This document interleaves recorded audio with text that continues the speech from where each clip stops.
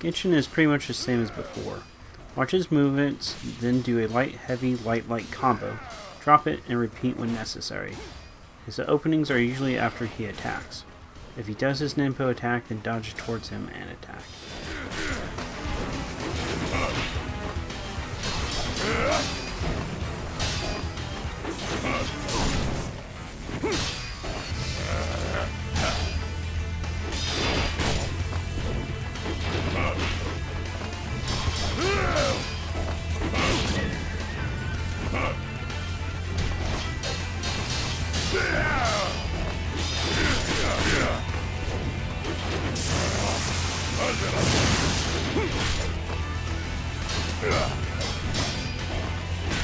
Ugh!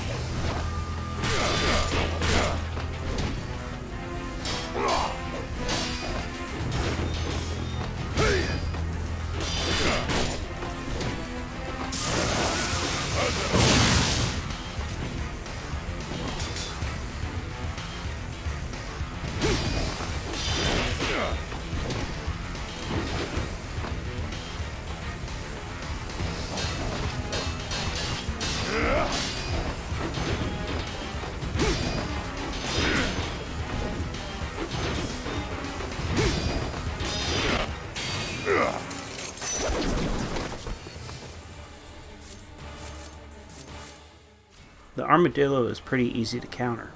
Get out your scythe and charge up to an ultimate from a distance and release. You'll do damage while keeping distance. You may have to risk it at the end and go in for a few hits once it goes wild though.